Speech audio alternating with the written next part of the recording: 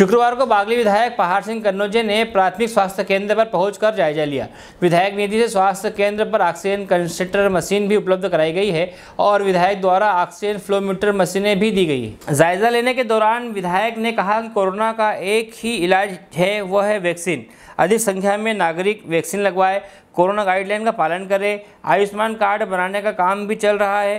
प्राथमिक स्वास्थ्य केंद्र पर दवाइयों की आपूर्ति के संबंध में सुनील अस्के से चर्चा की। इस अवसर पर भाजपा कार्यकर्ता पदाधिकारी उपस्थित थे। सतवास से जीतू सिंघी की रिपोर्ट। कोरोना किल के नाम से हमारे सरकार ने, हमारे प्रदेश के मुखिया आदरणीय शिवराज जी चौहान ने शासकीय और प्राइवेट और जनप्रतिनिधि की कॉमन मीटिंग रखी गई थी। जो कन्नौज ब्लॉक के सारे अधिकारी सतवास रेस्ट हाउस में आयोजित की गई।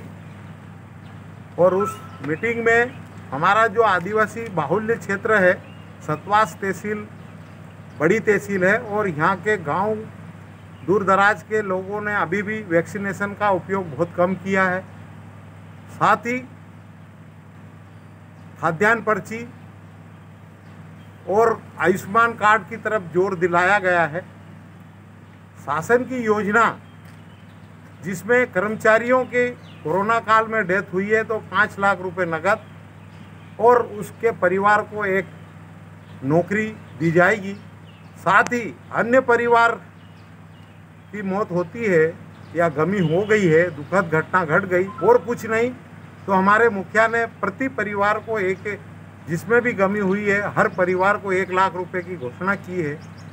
और किसी परिवार का मुखिया यदि मरता है तो उसके परिवार के जो नाबालिग है, उनको भी पाँच हज़ार रुपये प्रति बालक को और साथ ही उनको आगे की पढ़ाई के, शिक्षा के हिसाब से भी सहायता देने की घोषणा हुई है तो उसकी भी जानकारी लेना है।